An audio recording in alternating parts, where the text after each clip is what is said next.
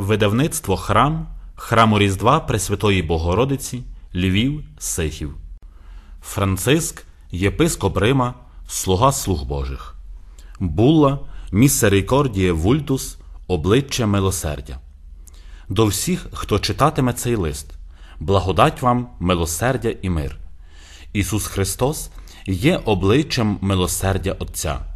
На моє переконання, таємниця християнської віри знаходить у цьому висловлюванні свою суть. Вона стала живою, видимою і осягнула свою повноту в Ісусі з Назарета. Отець, багатий милосердям, коли об'явив Моїсеєві своє ім'я, Бог милосердний і ласкавий, нескорений на гнів, многомилостивий і вірний.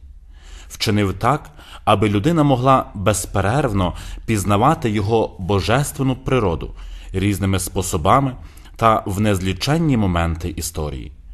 У повноту часів, коли все було готове згідно з його планом спасіння, він зіслав свого сина, народженого з Діви Марії, аби остаточно об'явити нам свою любов. Хто бачить сина, той бачить і Отця. Ісус із Назарета своїми словами, жестами та всією своєю особою об'явив нам милосердя Бога. Ми повинні невпинно споглядати Вона цю таємницю умовою милосердя. нашого спасіння. Вона є для нас джерелом радості, ось слово, потіхи, яке об'являє Пресвяту Тройцю. Милосердя це найвища і остаточний акт, у якому Бог виходить нам назустріч. Милосердя основоположний закон, що є в серці кожної людини, коли вона щирими очима дивиться на кожного свого брата, якого зустрічає на життєвому шляху. Милосердя ось шлях, що означає Бога з людиною, оскільки відкриває серце на надію бути вічно любленим, попри обмеження через гріх. Існують моменти, які сильніше закликають нас вдивлятися в милосердя, аби ми самі стали знаком діянь Отця. Саме через це я проголосив надзвичайний ювілейний милосердя як сповнений благодаті час для церкви, щоби свідчення вірних стало ще сильнішим та дієвішим. Святий рік буде розпочатий 8 грудня у праздник непорочного зачаття Пресвятої Діви Марії. Літургійна урочистість цього свята показує, як Бог діє від самих початків нашої історії. Після гріхопадіння Адама і Єви Бог не захотів покинути людство і залишити його самотнім перед силами зла. Тому він у своєму задумі побажав, аби Марія, свята і бездоганна в любові, стала матір'ю відкупителя людини. На безмір гріха Бог відповідає повнотою прощення. Милосердя завжди буде більшим за будь-який гріх, і ніхто не може обмежити любов Бога, який прощає. Саме цього дня, в свято непорочного зачаття, я з радістю відчиняю святі двері. За такої нагоди вони стануть брамою милосердя. Кожен, хто входить у неї, зможе пізнати любов Бога, який утішає, прощає і дає надію. Наступної неділі, тобто у третю неділю Адвенту, буде відчинено святі двері в катедрі Рима, в базиліці святого Йоанна на Латерані, а потім у папських базиліках. Також я постановляю, щоб саме у ці неділі в катедрі кожної помісної церкви, а також у прокатедрах чи в інших храмах особливого значення було на весь рік відчинено таку браму милосердя. Згідно з рішенням єпископа ординарія, таку браму можна буде відчинити також у санктуаріях, місцях, куди приходять багато паломників, які саме там часто пізнають благодать і знаходять шлях до навернення. Тож кожна помісна церква буде безпосередньо залучена у переживання цього святого року як особливого моменту благодаті і духовної віднови. Так і в Римі, і в усіх помісних церквах святкуватимуть ювілей як видимий знак єдності всієї церкви. Я обрав дату 8 грудня через її багатюще значення в сучасній історії церкви. Святі двері я відчиняю у 50-ту річницю завершення Другого Ватиканського собору. Церква відчуває потребу живого спогаду про цю мить, оскільки саме тоді розпочався новий виток в її історії. Отці, згромаджені на соборі, відчували потребу, сильну, як істинний повів Святого Духа, говорити про Бога до людей їхнього часу більш доступно. Після розвалення мурів, які надто довго тримали церкву в ув'язненні, немов в упривілейованій цитаделі, настав час по-новому проголошувати Євангеліє. Це був початок нового етапу євангелізації, яка триває споконвічно. Це був початок нового завдання для усіх християн з більшим ентузіазмом і переконливістю свідчити про свою віру. Церква відчувала відповідальність за те, щоб бути у світі живим знаком любові Отця. У пам'яті зринають промовисті слова, які святий Йоанн 23 промовив на відкритті собору, вказуючи шлях, яким належить рухатися. Сьогодні наречена Христа воліє прослугуватися радше ліками милосердя, аніж суворістю. Католицька церква прагне бути матір'ю, що любить усіх, матір'ю ласкавою, терпеливою, повною милосердя і доброти щодо роз'єднаних синів, підносячи на цьому Вселенському соборі світоч католицької істини. У цьому ж руслі рухався і блаженний Павло VI, який так висловився на завершенні собору. Прагнемо передусім звернути увагу на те, що релігією нашого собору була насамперед любов. Біблійна історія про самарянина стала основою духовності собору. Струмінь любові і прославлення вилився з собору на сучасний людський світ. Ми відкинули те, що насправді було помилковим, а це вимагало любові не менше, ніж правди. Замість гнітючих діагнозів, обнадійливі ліки, замість злороживих віщувань, собор передав нинішньому світові послання, сповнене довіри. Ми не тільки вшановували цінності сучасного світу, але й віддали їм честь, його зусилля підтримали, його прагнення очистили і поблагословили. І ще одну річ ми повинні зауважити: все це доктринальне багатство, звернене в одному напрямі служити людині, людині в будь-якому її становищі, у всякій хворобі та в кожній потребі. І з почуттям вдячності за це, що церква отримала із відповідальністю за завдання, яке на нас чекає, увійдімо в святі двері з повнотою уповання на те, що нас супроводжує міць Воскреслого Господа, який неустанно підтримує наше паломництво, Святий Дух, який керує кроками вірних, аби співпрацювати у ділі спасіння, звершеному Христом. Нехай буде провідником і підтримкою Божого народу, допомагаючи йому споглядати обличчя милосердя. Ювілейний рік завершиться в літургійну урочистість Ісуса Христа, Царя Всесвіту, 20 листопада 2016 року. Цього дня, замикаючи святі двері, ми скеруємо свої думки із вдячністю та подякою до Пресвятої Тройці за те, що вділила нам цей спільний час благодаті. Увірмо Христові Господу життя церкви, усього людства і Всесвіту, просячи вилити на своє милосердя. Як в ранішню росу ми плідно стала історію, яку ми всі творитимемо у найближчому майбутньому. О, як же я прагну, щоб прийдешні роки були позначені милосердям, щоб ми вийшли на зустріч кожній людині, несучи доброту і ніжність Бога. До всіх, як віруючих, так і тих, хто далеко. Нехай кожен отримає бальзам милосердя, як знак Божого царства, що вже присутнє посеред нас.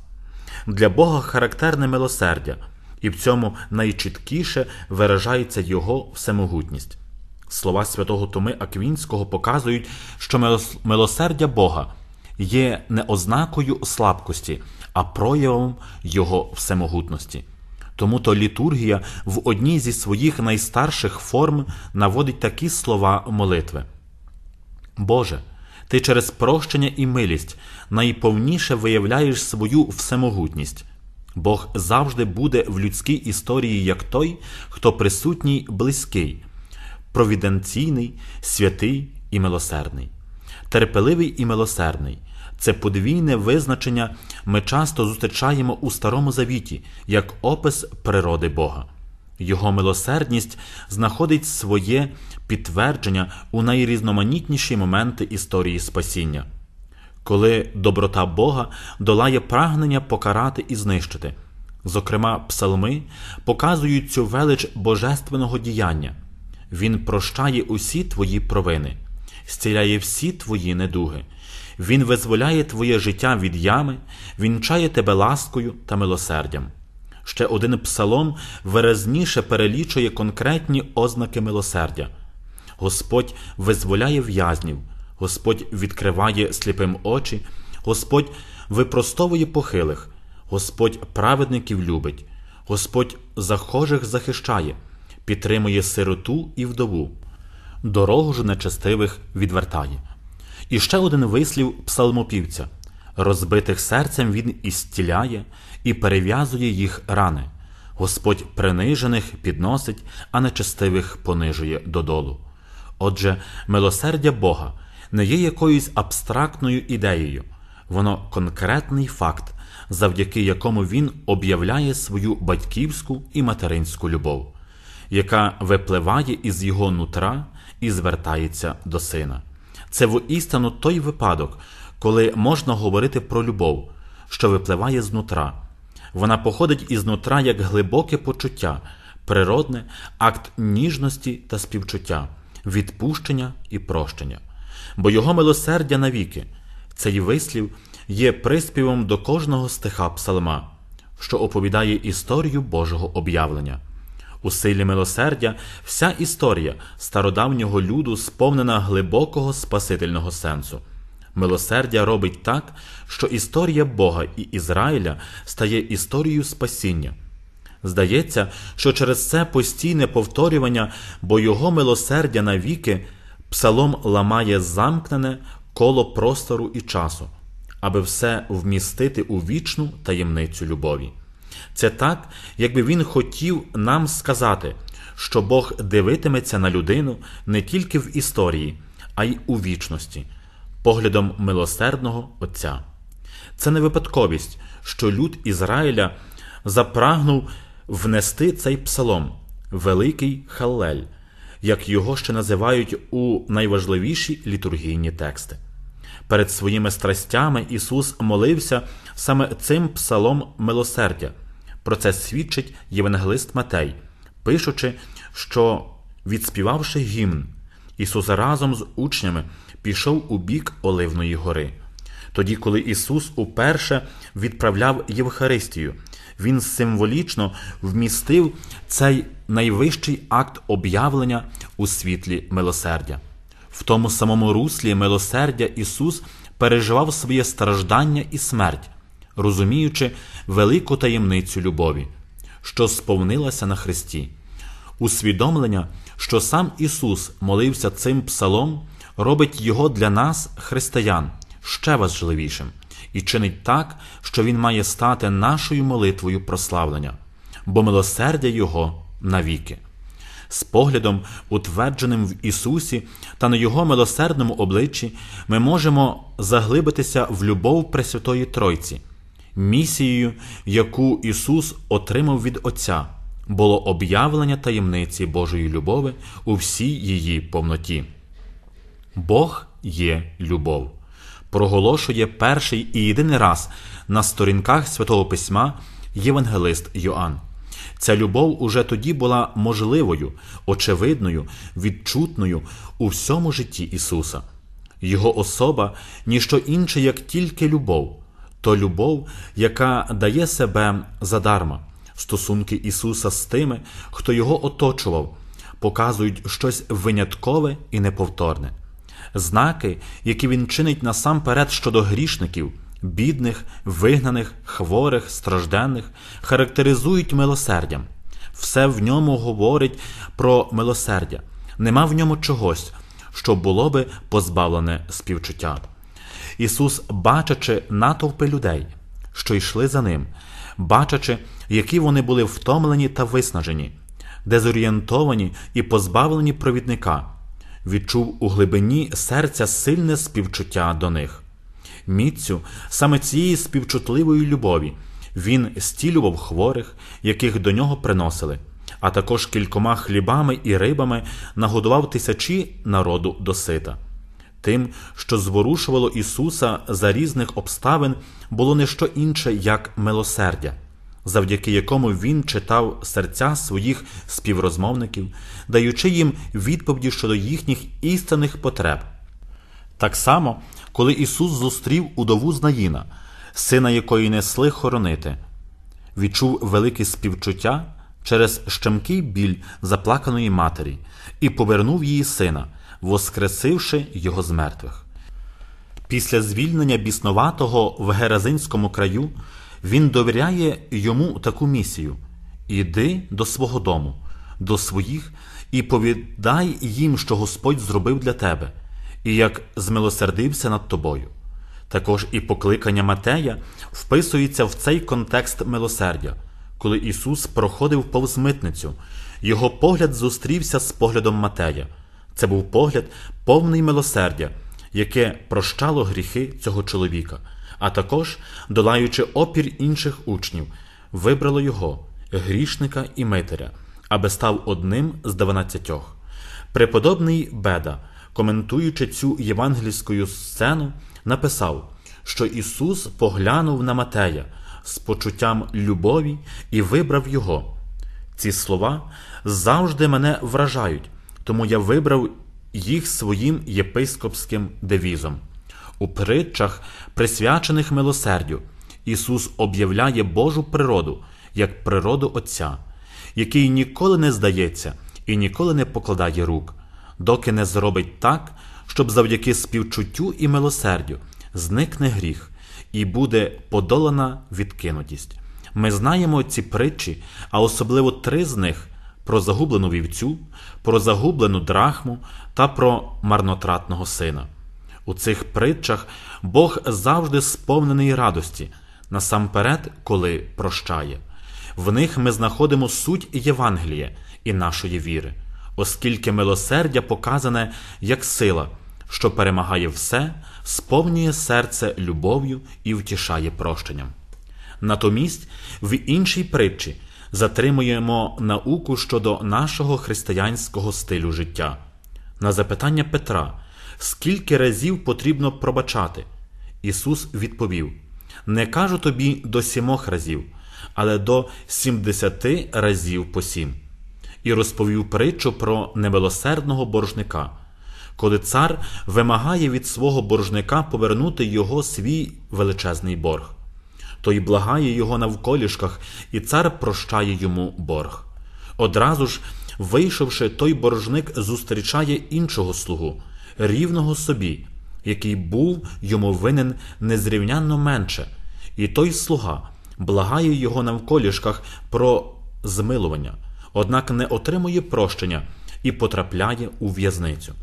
Щойно почувши про те, що сталося, цар вельми розгнівався, викликав немилосердного боржника до себе і сказав: Чи не слід було й тобі змилосердитись над твоїм товаришем, як я був змилосердився над тобою? Ісус завершує цю притчу словами. Однак і Отець мій Небесний буде чинити вам, якщо і кожен з вас не простить братові своєму з серця свого. Ця притча містить глибоку мораль.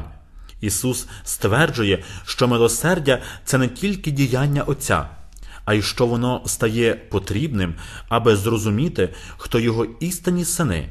Отже, ми покликані жити милосердям, оскільки то нам було насамперед уділене милосердя. Прощення, образ стає найбільш очевидним вираженням милосердної любові. А для нас християн, воно є велінням, якого ми не можемо забувати. Яким же таким не раз здається це прощення? Однак саме воно є знаряддям, яке було вкладене нам у руки, аби ми могли осягнути спокій серця, покинути жалі, злість, насильство і помсту. Це умови необхідні для того, щоб жити щасливо. Тому приймаємо заохочення апостола. Нехай сонце не заходить над вашим гнівом. Слухаймо насамперед слова Христа, який представив милосердя як ідеал життя і як критерій достовірності нашої віри. Блаженні милосердні, бо вони зазнають милосердя. Це блаженство має стати для нас натхненням у цей святий рік. Милосердя у Святому Письмі це слово ключ, яке вказує на діяння Бога щодо нас. Він не обмежується підтвердженням своєї любові, але робить її видимою і співчутною. Любов же не може бути тільки абстрактним словом. За самою своєю природою вона становить конкретне життя, це наші наміри, поведінка, наша позиція у щоденності. Милосердя Бога це Його турбота про нас. Він почувається відповідальним, тобто прагне нашого блага і хоче бачити нас щасливими, сповненими радості і миру. Саме в цьому руслі повинна перебувати милосердна любов християн. Так як любить Отець, так само повинні любити і сини. Як Він є милосердний, так і ми покликані бути милосердними одні до одних. Опорною балкою церкви є милосердя. У її душпастерській діяльності все має бути огорнене ласкавістю щодо вірних. Також ніщо з її повчань та свідчень, спрямованих до світу, не може бути позбавлене милосердя. Істинність церкви видно з того, як вона проявляє любов, милосердну і співчутливу. Церква живе невичерпним прагненням давати милосердя. Можливо, ми надто довго забували вказувати цей шлях милосердя і жити ним. З одного боку, спокуса завжди опиратися виключно на справедливість призвела до того, що ми забули. Це тільки перший крок, хоч і обов'язковий і неминучий. Але церква повинна стати вищою за це, аби осягнути мету вищу і значно важливішу. З іншого боку, ми з сумом спостерігаємо, як прощення у нашій культурі стає дедалі рідкіснішим явищем. У деяких випадках навіть здається, що зниження вже й саме слово прощення. Однак без прощення наш шлях стає безплідним і беззмістовним, наче життя минає у якійсь пустельній вілюдній місцевості. Для церкви знову настав час прийняти на себе радісне проголошення прощення. Це час повернення до суті, це час взяти на себе слабкості і труднощі наших братів. Прощення це сила, яка повертає до нового життя і додає відваги, аби дивитися в майбутнє з надією. Ми не можемо забути про велике вчення, яке святий Іван Павло II представив у своїй другій енцикліці Бог багатий милосердям, і яке в тодішню епоху прийшло так несподівано і скількох здивувало своєю темою. Особливо я б хотів послатися на два аспекти цього вчення. Насамперед, святий папа наголосив, що у культурі наших днів забули про милосердя. Виглядає, ніби сучасна духовність може більш як духовність людини в минулому, протиставляється Богові милосердя і, власне кажучи, намагається усунути з життя і забрати з людського серця саму ж ідею милосердя. Виглядає, ніби слово і поняття милосердя вводить людину у заклопотання що завдяки величезному розвиткові науки і техніки, ще незнаної досі в історії, стала паном і підкорила собі і оволоділа землею. Виглядає, ніби таке оволодівання землею, іноді однобічно і поверхнево зрозуміле, не залишає місця для милосердя. Власне тому в нинішньому становищі церкви у світі багато людей і багато середовищ, введених живим почуттям віри. сказати б, майже відраховано звертаються до Божого милосердя. Ба більше, святий Іван Павло II так мотивував пильну потребу проголошення і свідчення милосердя в сучасному світі. Воно продиктоване любов'ю до людини і усього, що людське, і що у відчуттях так багатьох наших сучасників наражене на велику небезпеку. Та сама таємниця Христа велить водночас проголошувати милосердя як милосердну любов Бога, об'явлену в таємниці Христа. І велить до цього милосердя покликатися, прикликати його на нашому тяжкому і переламному етапі історії церкви та світу. Це вчення святий Іван Павло II сьогодні ще більше актуально і заслуговує на те, щоб за нього заново взятися цього святого року. Приймімо ж заново Його слова. Церква живе своїм автентичним життям, коли сповідує і проголошує милосердя, найпрекраснішу рису Творця і Відкупителя, і коли наближає до джерела Божого милосердя людей, для яких вона є перехистком і служителем. Церква покликана проголошувати милосердя Бога, який є живим серцем Євангелія, аби таким чином проникнути в серце і думки кожної людини. Наречена Христова уподібнює свою діяльність до поведінки Сина Божого, який до усіх виходив назустріч, не ігноруючи нікого. В наш час, коли церква залучена в нову євангелізацію, виникла необхідність представити тему милосердя з новим ентузіазмом і з відновленою душпастерською діяльністю. Церква повинна жити цим милосердям, повинна свідчити про нього від першої особи. Це ключовий момент для неї і для істинності її проповідування.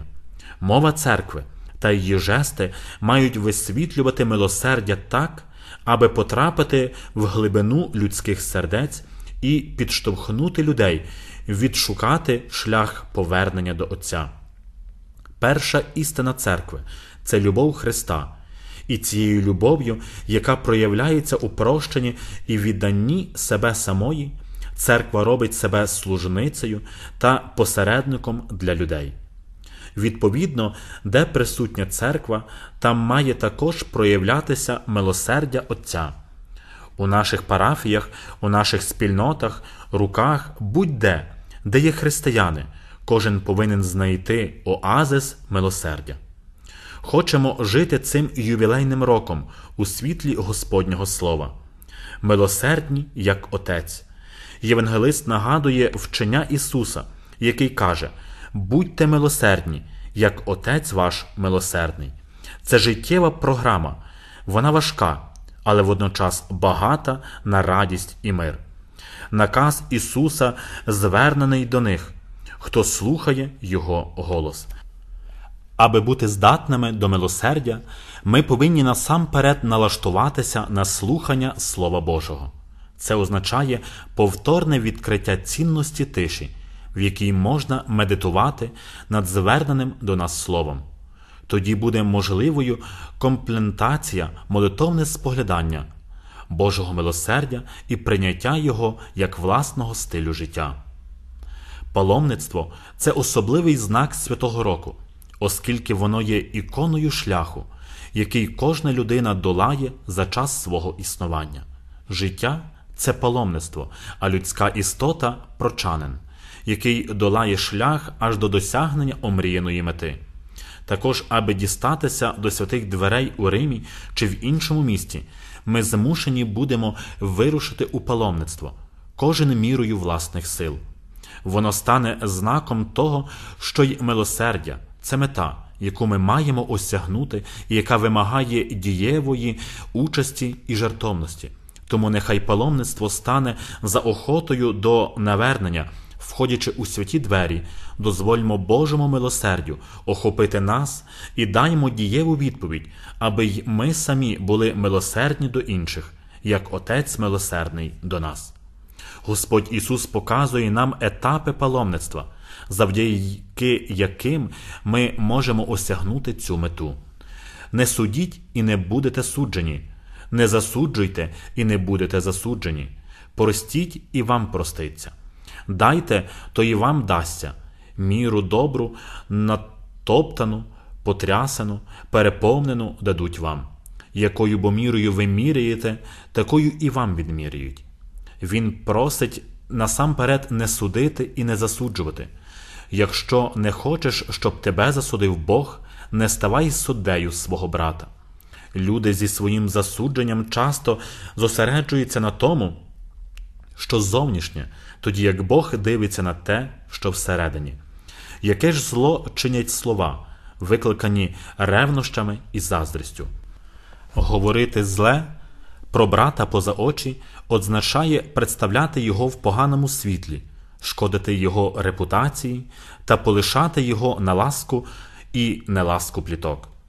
Не судити і не засуджувати означає позитивно підходити до справи, уміти помітити добро, яке є в кожній людині, і не дозволити, аби вона страждала через нашу оцінку і наше зарозуміле всезнайомство. Але у цього ще не досить для вираження милосердя.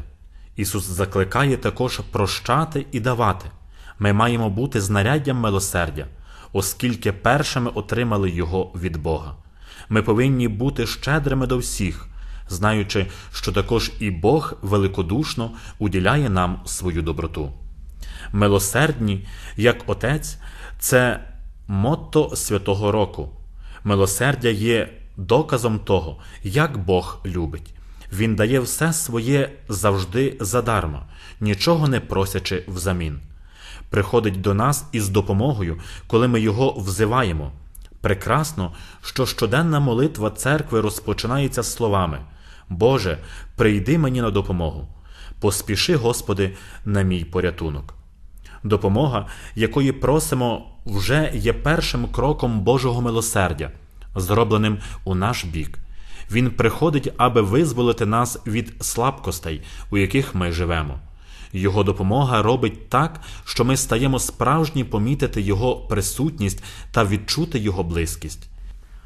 День за днем, діткнуті Його співчуттям, також і ми можемо бути співчутливими до всіх. Цього святого року ми маємо нагоду відкрити свої серця до всіх, хто живе у найбільш безнадійних життєвих обставинах, які світ так часто створює найбільш драматичним чином. Скільки ж непевності і страждання у нинішньому світі, скільки ж ран на тлі багатьох, які вже не мають більше голосу, бо їхній крик ослаб і згас через байдужість багатих народів. У цей ювілей церква є ще сильніше покликана лікувати ці рани, обмивати їх оливою потішення, перев'язувати милосердям і лікувати їх солідарністю і належною увагою. Не впадаймо в байдужість, яка принижує, у звичку, яка присипляє дух і не дає змоги відкривати новизну, в цинізм, який нищить. Розплющмо очі на світову біду, на рани стількох братів і сестер, позбавлених гідності. Нехай їхнє волання про допомогу провокує нас. Потиснімо їм руки, протягнімо їх до себе, аби вони відчули тепло нашої присутності, приязні і братерства. Нехай їхній крик стане нашим, щоб ми разом зламали бар'єр байдужості, яка часто владно царює, аби приховати лицемірство та егоїзм. Моє гаряче бажання, щоб християни продумали за час ювілейного року учинки милосердя щодо тіла і щодо душі. Нехай це пробудить наше сумління, часто приспане перед драмою убогості, а також дасть нам змогу глибше увійти в серце Євангелія, де в Богі привілейовані для Божого милосердя. Проповідь Ісуса представляє ці вчинки милосердя, аби ми могли пізнати, чи живемо як Його учні, чи ні. Відкриємо наново вчинки милосердя для тіла, нагодувати голодних, напоїти спраглих, одягнути нагих, подорожніх у дім прийняти, в'язнів утішати, хворих відвідувати, померлих ховати. І не забуваємо про вчинки милосердя для душі. У сумнівах давати добру пораду, невмілих навчати, грішних напоумляти, пригнічених утішати, кривди терпеливо зносити, образи охоче прощати, молитися за живих і померлих. Ми не можемо втекти від слів Господа, бо ж на їх підставі будемо суджені. Чи дали їсти тому, хто голодний, чи дали напитися тому, хто спраглий, чи прийняли подорожнього в дім і чи вдягнули нагого, чи мали час, аби побути з хворим і в'язним. Також нас спитають, чи ми допомогли вийти з сумнівів, які навіюють людині страх і стають джерелом самотності. Чи були ми здатні подолати неосвідченість, у якій живуть мільйони людей, а насамперед діти, позбавлені необхідної допомоги? Аби вийти з бідності, чи були ми близько біля того, хто самотній і пригнічений, чи прощали тому, хто нас образив, і чи відкинули кожну форму образ і ненависті, яка провадить до насильства? Чи були ми терпеливі, як Бог? який дуже терпеливий щодо нас. І, зрештою, чи ми ввіряли Господеві в молитві наших братів і сестер. У кожному з цих найменших присутній сам Христос. Його тіло стає знову видимим, як замучене, зранене, бичоване, зголодніле, гнане, аби ми могли його розпізнати, торкнутися і турботливо допомогти. Не забуваємо про слова святого Йоанна від Христа. Надвечір тебе судитимуть з любові. У Євангелії від Луки знаходимо ще один важливий аспект переживання ювілею з вірою. Євангелист оповідає, що у Шабат Ісус повернувся в Назарет і за своїм звичаєм подався в синагогу. Там його попросили прочитати уривок зі святого письма та прокоментувати його. Ісус зачитав уривок із книги пророка Ісаї, де було написано: Дух Господа Бога на мені, бо Господь мене помазав. Він послав мене, щоб принести благу вість убогим, лікувати сокрушених серцем, проголосити невольникам свободу, ув'язненим відкрити очі, проголосити рік Господнього благословіння. Рік благословіння, рік милосердя. Саме це заповів нам Господь, і цим прагнемо жити. Цей святий рік несе з собою багатство місії Ісуса, яке відлунює в словах пророка, занести слово і жест потіхи бідним, оголосити свободу тим, хто став в'язнем нових форм невільництва сучасного суспільства, повернути гідність тим, хто був її позбавлений. Провіщення Ісуса стає знову видимим у відповідях віри, які християни повинні давати через особисте свідчення. Нехай нас супроводжують слова апостола, хто чинить діла милосердя, нехай чинить це з радістю. Закликаю вас пережити час Великого посту в ювілейний рік ще інтенсивніше як суттєвий момент в урочистому служінні та переживанні милосердя Бога.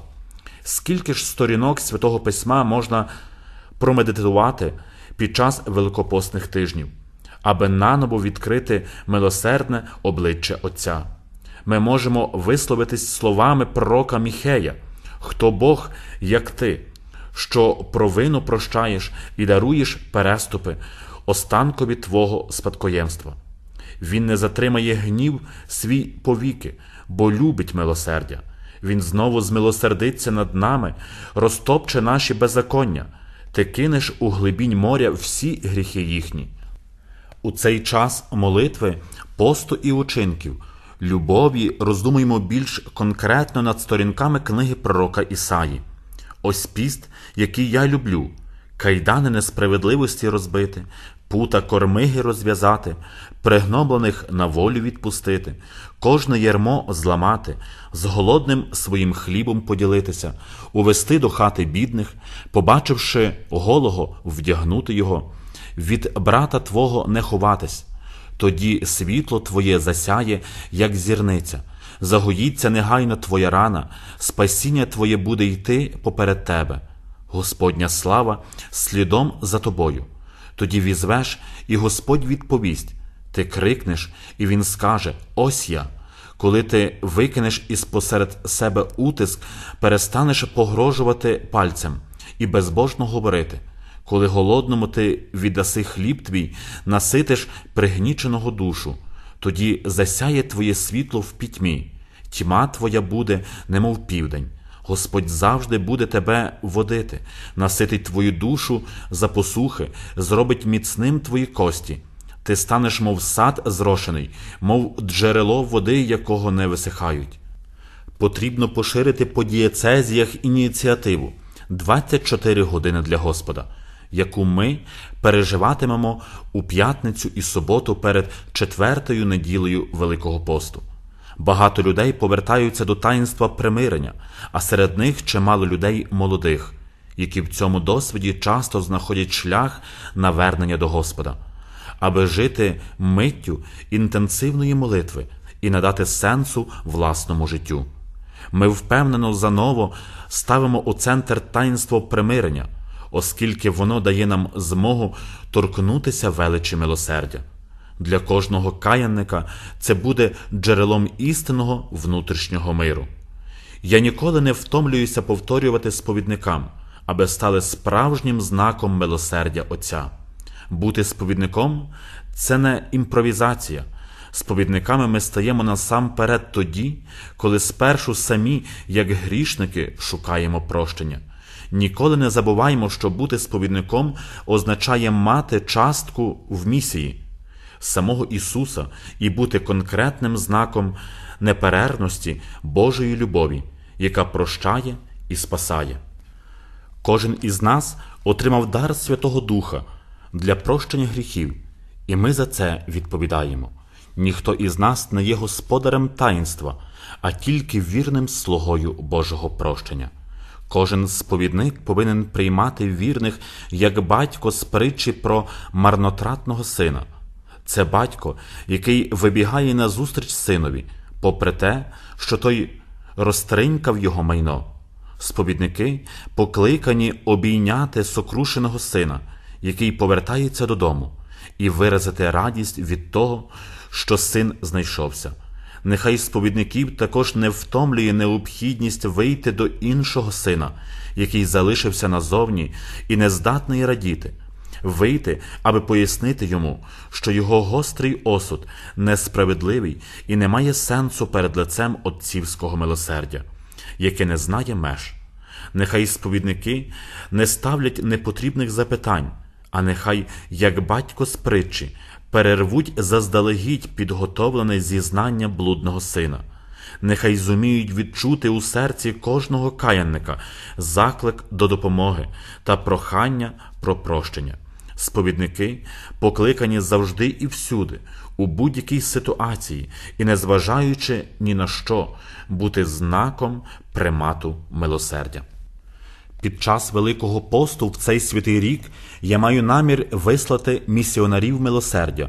Вони будуть знаком материнської турботи церкви про Божий люд, аби він увійшов у глибину багатства цієї таємниці, яка є фундаментальною для нашої віри.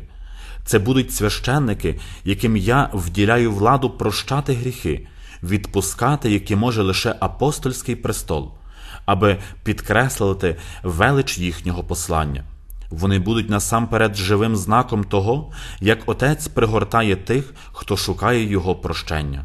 Вони будуть місіонерами милосердя, оскільки творитимуть разом з усіма зустріч, повну людяності, джерело звільнення, багате на відповідальність за подолання труднощів та вступ у нове життя, отримане у святому хрещенні.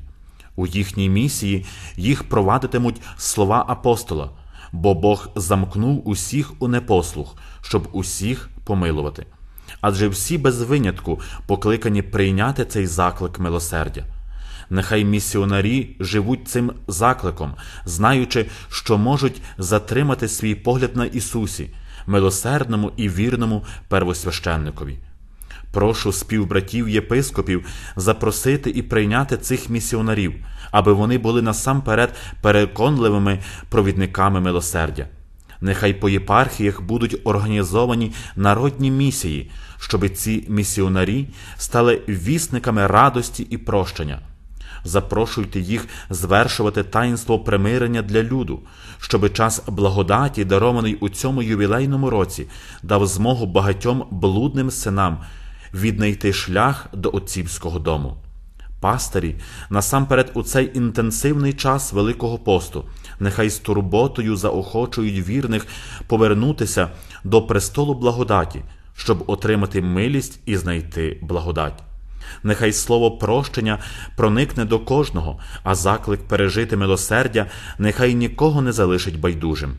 Своє запрошення навернутися я з особливою ревністю скеровую до тих, хто перебуває далеко від Божої благодаті, з огляду на свій спосіб життя.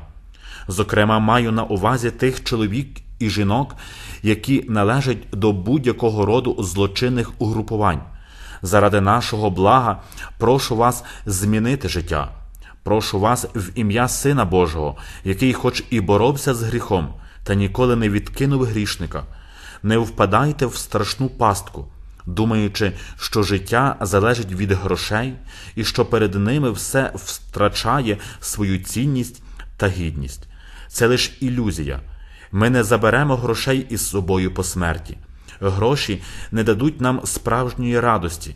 Насильство заради здобуття грошей, з яких крапає кров, не зробить людину ані сильною, ані безсмертною. Рано чи пізно всі повстануть перед судом Божим, і ніхто не зможе його уникнути. Нехай цей заклик почують і люди, які підтримують корупцію чи беруть у ній участь. Це гнійна рана суспільства, тяжкий гріх, що волає до неба, оскільки вцілює в самі основи особистого та суспільного життя.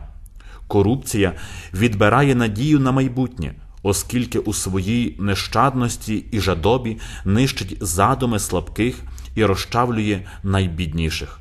Корупція це зло, яке вкорінюється у буденних жестах, аби потім розростися в публічні скандали.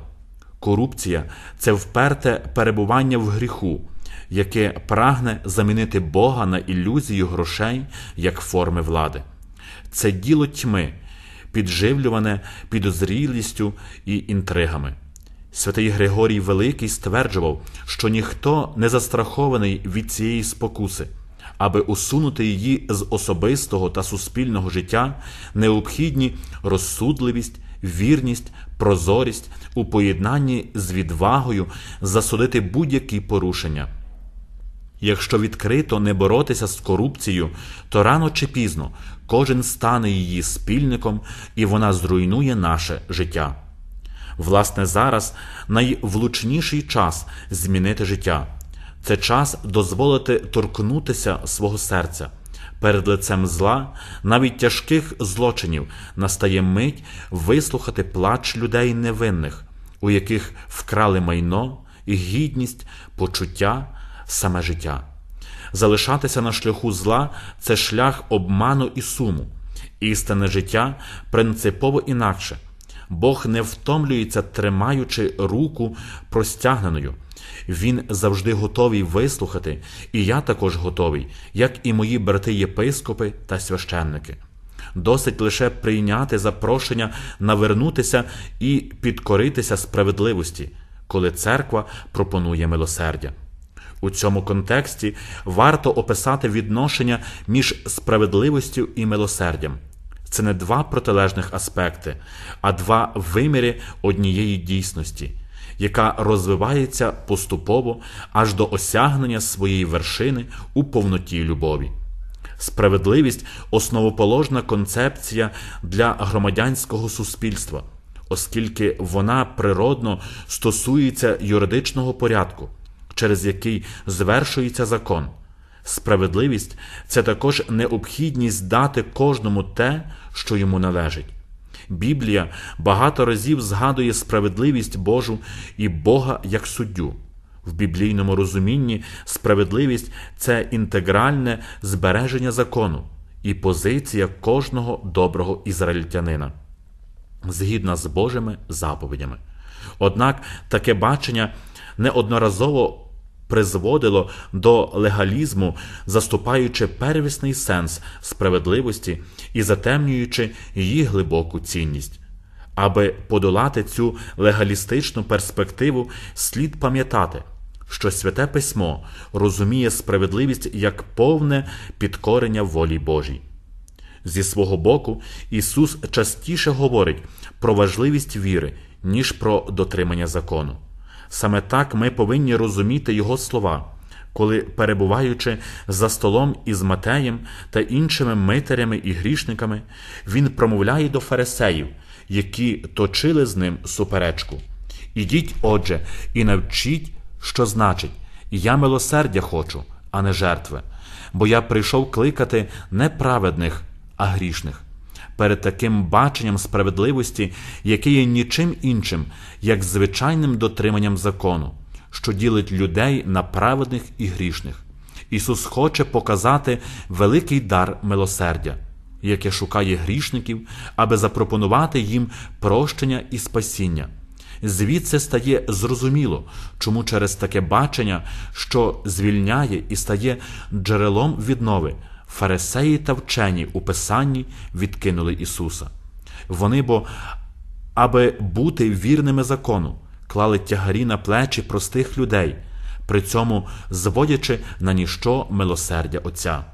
Заклик зберігати закон не може відводити увагу від речей необхідних, які стосуються гідності людей. Заклик Ісуса стосується тексту пророка із Осії. Я бажаю милості, а не кривавої жертви. І він вельми значущий у цьому контексті. Ісус підтверджує, що віднині правилом життя Його учнів буде примат милосердя як він сам про це свідчить, розділяючи трапезу з грішниками. Милосердя ще раз об'явлене як основоположний вимір місії Ісуса.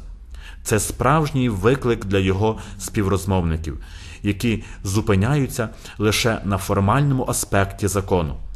Ісус натомість виходить поза закон, Його ділення з тими, кого закон вважав грішниками дає змогу зрозуміти, куди доходить його милосердя. Так і апостол Павло пройшов подібний шлях. Перш ніж він зустрів Ісуса по дорозі до Дамаску, його життя було повністю присвячене осягненню справедливості за законом. Навернення, звершене Христом, привело Павла до повної переміни, аж до тієї міри, що в посланні до Галатів він написав. Ми увірували в Христа Ісуса, щоб оправдатися нам вірою в Христа, а не ділами закону. Його розуміння справедливості змінило радикально. Павло тепер на перше місце ставить віру, а не закон. То недотримання закону спасає, а віра в Ісуса Христа, який своїми страстями і Воскресінням несе спасіння і милосердя, яке виправдовує. Справедливість Бога стає тепер звільненням для тих, хто пригнічений неволею гріха та всіх його наслідків. Справедливість Божа це Його прощення. Милосердя не суперечить справедливості, а виражає поведінку Бога щодо грішника, якому він пропонує чергову можливість виразити сокрушення, навернутися і увірувати. Досвід пророка Осії допомагає нам зрозуміти, як милосердя перевищує справедливість. Епоха, в яку жив цей пророк, одна з найбільш драматичних в історії вибраного народу. Царство близьке до знищення, народ невірний, завітові віддалився від Бога і втратив віру батьків. За людською логікою, слушно було би, якби Бог задумав відкинути невірний люд той бо не дотримав укладеного союзу, а отже, заслуговує на відповідне покарання, тобто на вигнання. Це підтверджують слова пророка повернеться в Єгипет, і Ашур царем їхнім буде, за те, що не хотіли повернутися до мене. Однак після цієї реакції, яка покликається на справедливість, пророк радикально зміцнює риторику і об'являє істинне обличчя Бога і як мені залишити тебе, Ефраїме, як мені видати тебе на поталу Ізраїлю, як мені вчинити з тобою те, що в адмі, вчинити з тобою те, що з Цевоїмом. Серце моє в мені обернулося, зворушився весь жаль мій. Не виконую палаючого гніву мого, не буду нищити більш Ефраїма, бо я Бог, не людина, святий посеред тебе. Я не вломлюся в місто. Святий Августин, ніби коментуючи слова пророка, каже: Богові легше стримати гнів, аніж милосердя. Саме так гнів Бога тримає тільки мить, тоді як його милосердя тримає повіки. Якби Бог зупинився на справедливості, Він перестав би бути Богом і став би, як усі люди, які посилаються на повагу до закону. Самої по собі справедливості замало, а досвід показує, що одна лише справедливість несе з собою ризик нищення. Саме через це Бог виходить за рамки справедливості своїм милосердям і прощенням. Це не означає применшення справедливості або ж учинення її непотрібною. Зовсім навпаки, той, хто помиляється, буде змушений розплатитися. Але це не кінець, а початок навернення, оскільки грішник пізнає ніжність прощення, Бог не відкидає справедливості, Він її використовує і реалізовує у ще більшій події, в якій людина пізнає любов яка становить фундамент істинної справедливості. Ми маємо присвятити багато уваги тому, що пише Павло, аби не впасти в ту саму помилку, за яку апостол дорікав тодішнім юдеям. Не розуміючи Божої справедливості і шукаючи установи свою власну, вони не покорилися справедливості Божій, бо мета закону Христос на оправдання кожного, хто вірує. Ця Божа справедливість то милосердя, вділене усім як благодать на підставі смерті і Воскресіння Ісуса Христа. Тому хрест Христа це справедливість Божа над нами, всіма і над світом, оскільки Він пропонує нам упевненість в любові та новому житті. Ювілей також передбачає відпуст у святий рік Божого милосердя відпуст набирає особливого значення. Прощення Богом наших гріхів не має меж. У смерті і Воскресінні Ісуса Христа Бог робить видимою свою любов, яка провадить аж до знищення людського гріха. Примирення з Богом стає можливим завдяки пасхальній тайні і через посередництво церкви. Тобто Бог завжди готовий до прощення і ніколи не втомлюється, пропонуючи його щораз по-новому і неочікувано. Натомість ми всі зазнаємо гріха. Ми знаємо, що покликані до досконалості, але водночас відчуваємо сильний тягар гріха. Коли ми відчуваємо міць благодаті, що нас перемінює, ми водночас зазнаємо і силу гріха, яка неабияк впливає на нас. Попри те, що ми отримали прощення, гріхи залишають сліди у нашому житті. Це так звані наслідки гріхів. У таїнстві примирення Бог прощає гріхи і забуває їх. Однак негативний їхній слід у нашій поведінці та в наших думках відразу не зникає. Та Боже милосердя сильніше і за цей слід.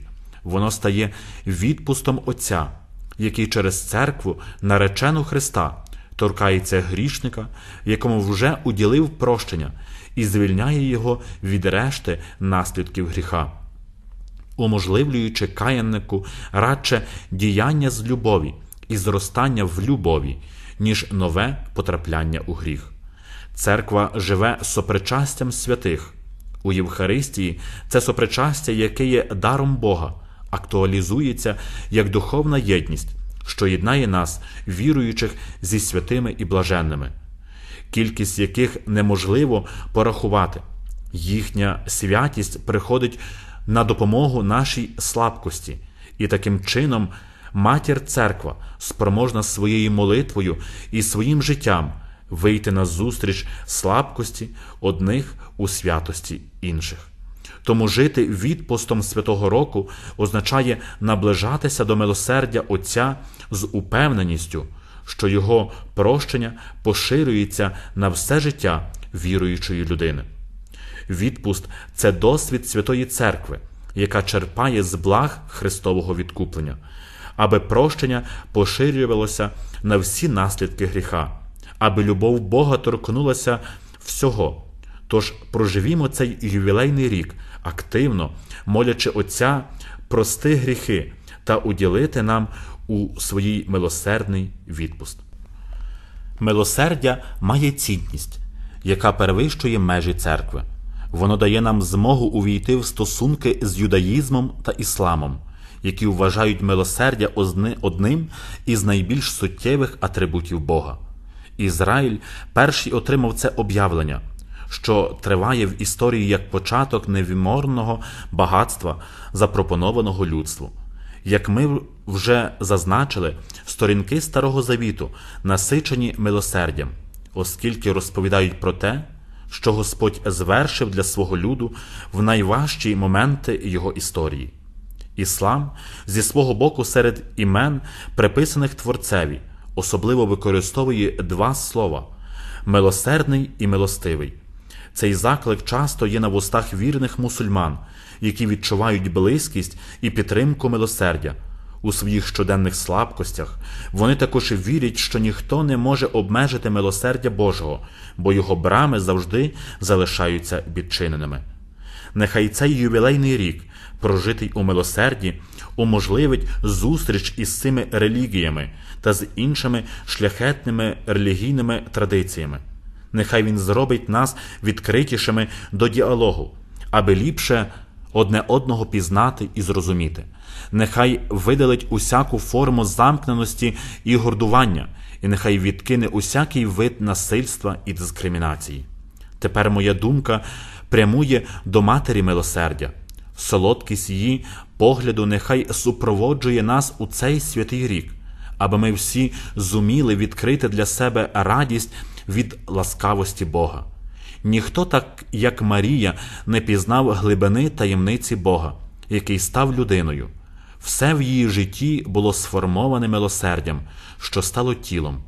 Мати розп'ятого і Воскреслого увійшла в санктуарій Божого милосердя, оскільки вона внутрішньо брала участь у таємниці Його любові.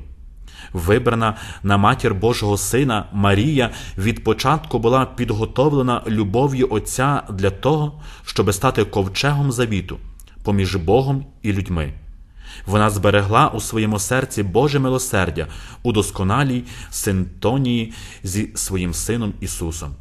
Її пісня про слави на порозі дому Святої Єлисавети була присвячена милосердю, яке триває з покоління в покоління. Також і нас стосувалися ці пророчі слова Діви Марії. Нехай це буде для нас потіхою та опорою, коли ми приступатимемо пороги святих дверей, аби пізнавати плоди Божого милосердя. Під хрестом Марія разом із Йоанном, учнем любові, стала свідком слів прощення, які пролунали з вуст Ісуса. Найвищий акт прощення щодо того, хто його розіп'яв показує нам, як далеко може сягати Боже милосердя.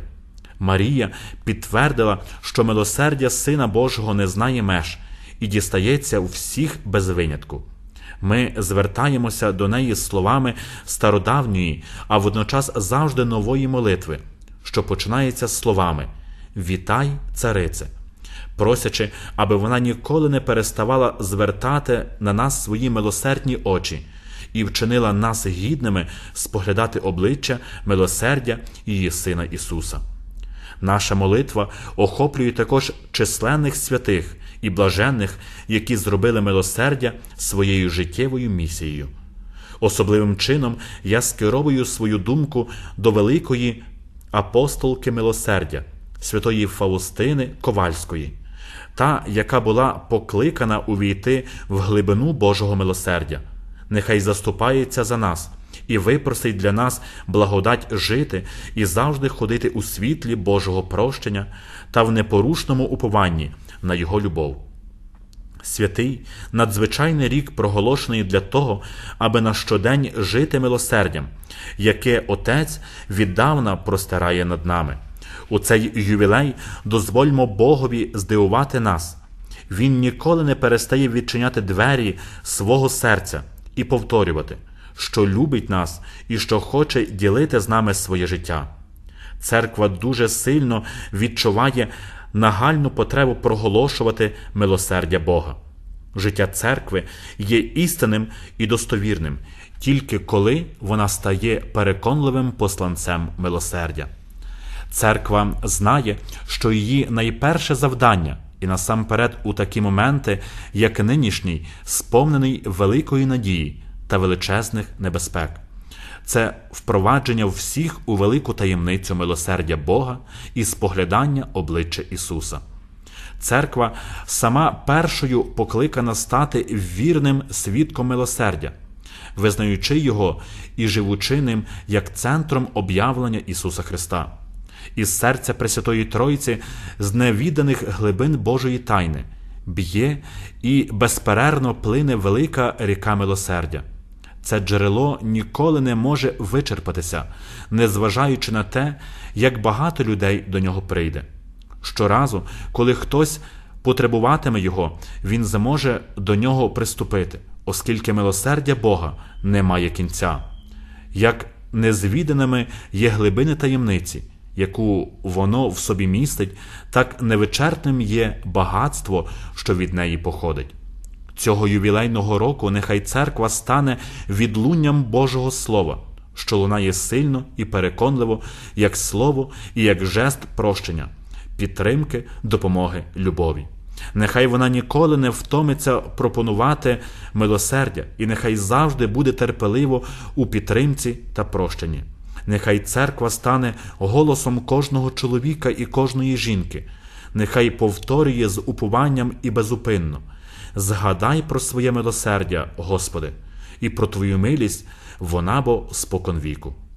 Дано у Римі, в соборі святого Петра, дня 11 квітня, у другу неділю Великодня, у свято Божого милосердя року Божого 2015 року, на третій рік мого понтифікату, Папа Франциск.